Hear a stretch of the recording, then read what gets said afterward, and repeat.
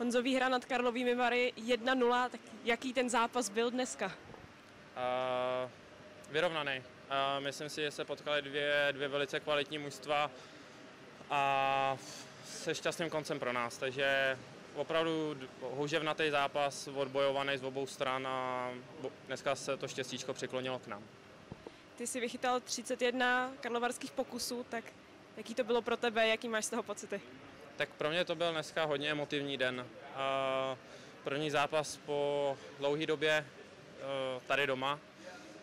Přece jenom žádný jiný zimák mi tady ten nikdy nenahradí, takže pro mě to bylo hodně emotivní od rána, ale nijak jsem nebyl nervózní, hrozně jsem se na to těšil, protože fakt ta doba byla, fakt ta doba byla dlouhá a jsem, jsem rád, že jsme vyhráli, jsem rád, že jsem si mohl užít děkovačku, že si můžu užít teď s rodinou, která mě přišla podpořit eh, eh, v kabině s klukama. Jsem fakt šťastný, že jsme to dneska zvládli, protože pocit z vítězství mm, jsem neznám snad nic lepšího.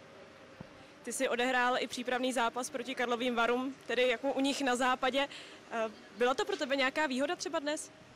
Tak uh, úplně ne, protože co si tak pamatuju, tak uh, Karlovy Vary tam nenastoupily úplně s, uh, se všema hráčema. Um, bylo tam hodně kluků, hodně kluků z juniorky a ze Sokolova, myslím, takže takže to bych úplně nesrovnával, ale mě hlavně pomohlo to, že jsem měl minulý týden na Slávy, že jsem se dostal do zápasového tempa a samozřejmě na psychiku mi pomůže i dnešní vítězství.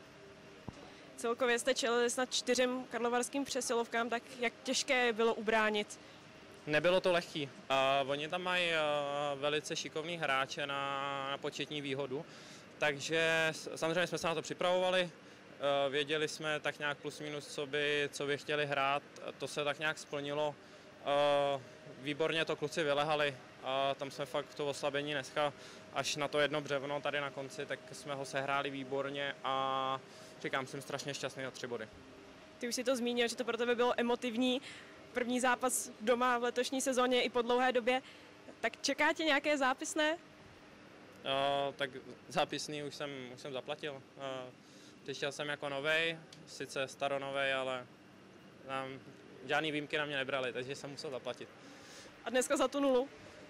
To už mě Berny asi to, už mi něco připomínal, takže se za ním zastavím a, a rád to, rád něco přispěju, protože uh, je to taková třešnička a rád to zaplatím. Díky moc a hodně štěstí. Děkujeme.